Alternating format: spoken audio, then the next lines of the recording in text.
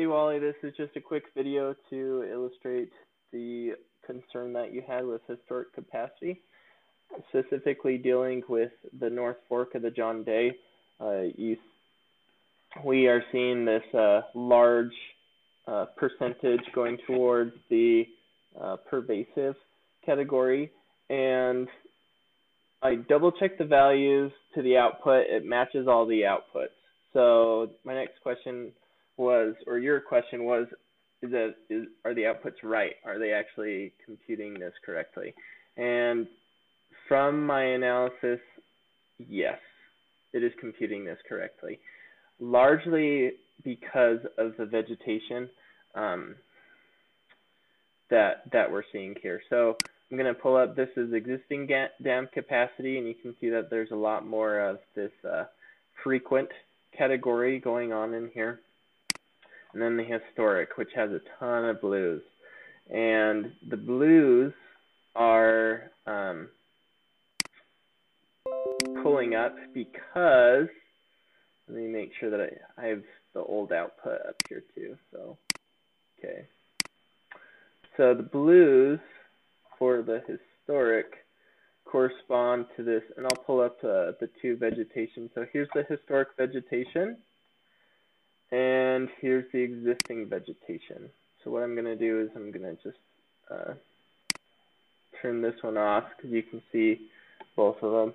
So you can see that they're along the corridors or along these uh, street where the network lies are these little uh, bands of the riparian.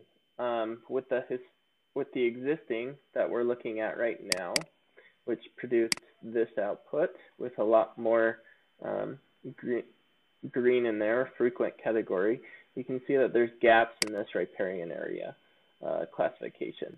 If you look at the vegetation that is uh, rated as a 4, um, we're seeing that uh, we've got this cottonwood willow.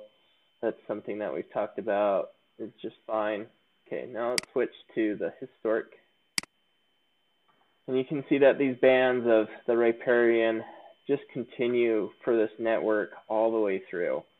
And if we click on those, it's this black cottonwood narrow narrow leaf willow tree that we've had a lot of issues with um, and being in certain areas and good in certain areas and not so good in certain areas. This is probably one of those that LANDFIRE just bites it. You know, it's just it, it just effed it up. So if we're looking, let's look specifically. You can see that all these riparian category for the black cottonwood willow comes up, and it's just riddled through this network, um, and that's why we're getting such the the high um, category. I'm going to just pop up into here. We're going to sort this descending. I just thought to, to do this. We've got our four categories.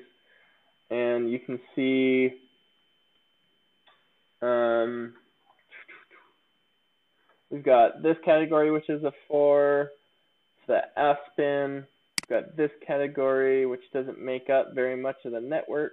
It looks like it makes it up down here where we've got such high discharges that it rules those areas out.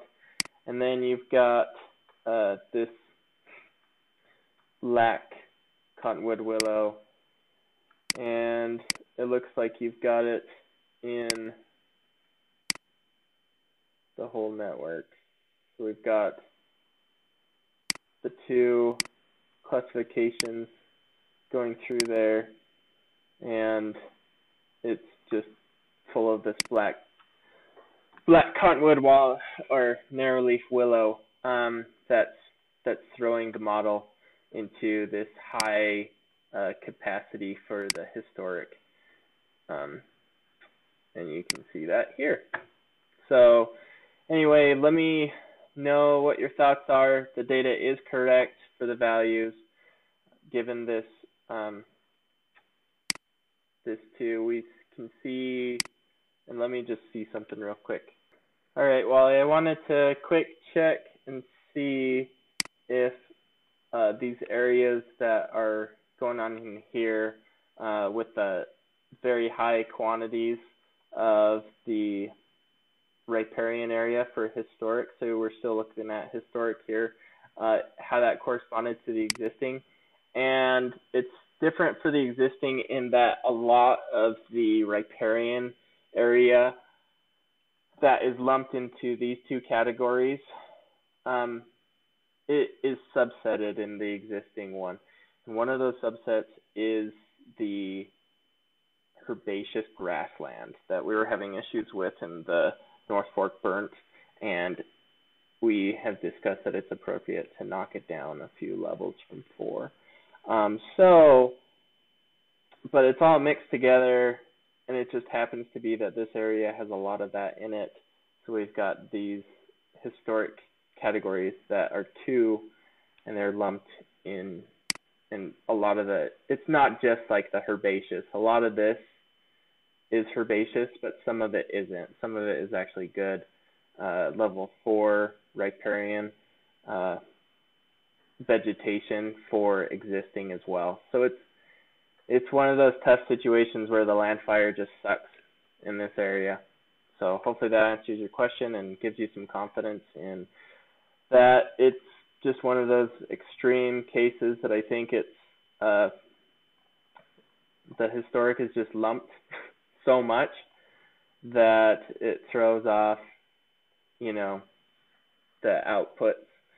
Uh, but it's hard to get rid of it again because if you get rid of or knock down one of these, it's kind of you're you're under portraying the uh, capacity of it in some areas.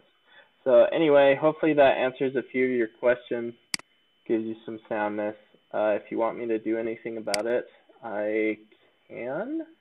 Um, I think at this point it kind of is what it is.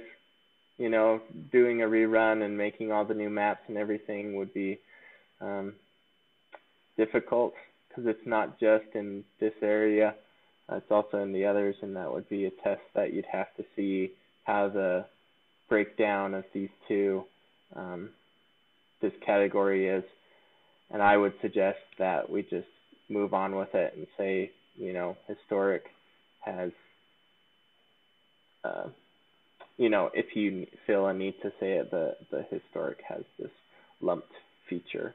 Uh, so anyway, hopefully that covers it. Sorry for the long video.